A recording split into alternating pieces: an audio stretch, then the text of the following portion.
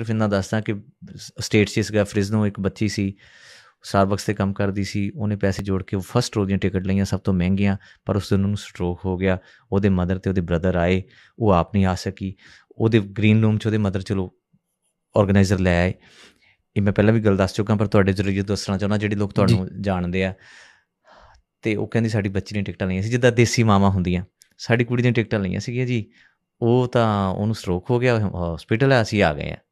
ਤੇ ਮੈਂ ਉਹਦੇ ਨੂੰ ਦੇਖਿਆ ਜੈ ਸਿੰਘ ਸਾਡੇ ਭਾਜੀ ਆ ਯੂਐਸਏ ਤੇ ਉਦੋਂ ਤਾਂ ਉਹ ਮਾਤਾ ਚਲ ਗਿਆ ਤੇ ਮੈਂ ਬੜਾ ਉਦਾਸ ਹੋ ਗਿਆ ਜਿਵੇਂ ਫੇਰ ਸਰਤਾਜ ਚੁੱਪਚਾਪ ਹੋ ਗਿਆ ਨਿੱਕੀ ਜੀ ਕੁੜੀ ਚ ਹੋਇਆ ਸੀ ਨਾ ਇਦਾਂ ਹੋ ਗਿਆ ਮੈਂ ਜੀ ਤੇ ਮੈਂ ਕਿਹਾ ਭਾਉ ਜੀ ਮੈਂ ਭਾਉ ਜੀ ਕਹਿੰਦਾ ਉਹਨੂੰ ਤੁਸੀਂ ਪਤਾ ਕਰ ਸਕਦੇ ਹੋ ਉਹ ਬੱਚੀ ਕਿੱਥੇ ਆ ਅਸੀਂ sir found their hospital their building their ward their floor their room their bed ਮੈਂ ਕਹਾ ਕਿ ਉਹਦੇ ਸਾਹਮਣੇ ਗਿਆ ਤੇ ਉਹ ਜਿਵੇਂ ਨਹੀਂ ਹੁੰਦਾ ਇੱਕ ਬਿਊਟੀਫੁਲ ਸ਼ੌਕ ਉਹਨੂੰ ਲੱਗਿਆ। ਉਹਨੇ ਨਾਲ ਦੇ ਬੰਦੇ ਦਾ ਹੱਥ ਫੜ ਕੇ ਕਿਹਾ ਕਿ ਇਹ ਮੈਂ ਸੁਪਨਾ ਮੈਨੂੰ ਆਉਂਦਾ ਜਾਂ ਇਹ ਸਤਿੰਦਰ ਸਰਤਾਜ ਆ? ਉਹ ਕਹਿੰਦੇ ਨਹੀਂ ਸਤਿੰਦਰ ਸਰਤਾਜ ਜੀ ਤੈਨੂੰ ਮਿਲਣ ਆਇਆ ਤੇ ਉਹ ਉੱਠ ਕੇ ਬੈਠ ਗਈ। ਮੈਂ ਉਹਦੇ ਕੋਲ ਬੈਠਿਆ ਗੱਲਾਂ ਕੀਤੀਆਂ ਜਿੰਨਾ ਵੀ ਟਾਈਮ ਸੀਗਾ।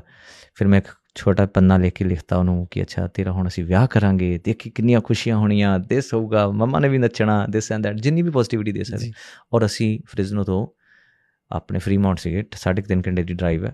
ਆ ਗਏ। ਸ਼ਾਮ ਨੂੰ ਜਦੋਂ ਅਸੀਂ ਪਹੁੰਚੇ ਸਰ ਸਾਨੂੰ ਜੈਸਿੰਗ ਨੂੰ ਉਹਨਾਂ ਨੂੰ ਉਹਦੀ ਮਦਰ ਦਾ ਫੋਨ ਆਇਆ ਕਿ ਸਾਡੀ ਬੱਚੀ ਨੂੰ ਛੁੱਟੀ ਮਿਲ ਗਈ ਹੈ। ਤੇ ਤੁਸੀਂ ਦੱਸੋ ਇਸ ਤੋਂ ਉੱਪਰ ਕੀ ਹੋਊਗਾ ਕੀ ਹੋਊਗਾ? ਹਾਂ ਨਾ? ਸੋ ਇਹ ਮੈਨੂੰ ਲੱਗਦਾ ਕਿ ਫਨਕਾਰੀਆਂ ਚਲੋ ਦੁਨੀਆ ਤੇ ਬਹੁਤ ਨੇ ਮਕਬੂਲੀਅਤ ਤਾਂ ਉਸ ਤੋਂ ਵੀ ਜ਼ਿਆਦਾ ਹੈਗੀ ਆ ਪਰ ਇਹ ਵਡਿਆਈ ਕਿਸੇ ਕਿਸੇ ਦੇ ਹਿੱਸੇ ਆਉਂਦੀ ਆ। ਮੈਂ